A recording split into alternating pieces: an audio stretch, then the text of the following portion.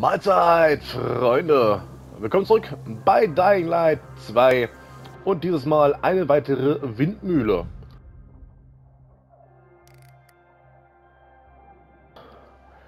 So, wir befinden uns in Houndfield und kümmern uns heute um das Windrad Birke.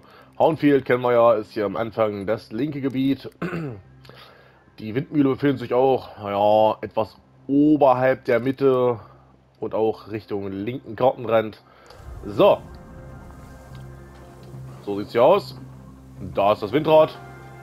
Ich würde sagen, los geht's. Wir müssen erstmal, zack, einfach ganz entspannt hochspringen. Und warten, dass der Kollege von einem Stein hier rüberkommt.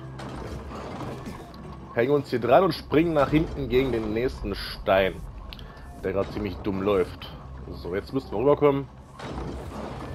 Zack. So, jetzt warten bis er ganz oben ist und springen dann hier rüber an dieses, äh, ja, auf diese Bretter, auf diesen Vorsprung, wie auch immer. Und dann gegenüberliegen, zack, auf den nächsten Vorsprung, die Leiter hoch. Und schon können wir hier ganz einfach das Windrad aktivieren. In diesem Sinne, Freunde, macht's gut. Bis zum nächsten Mal.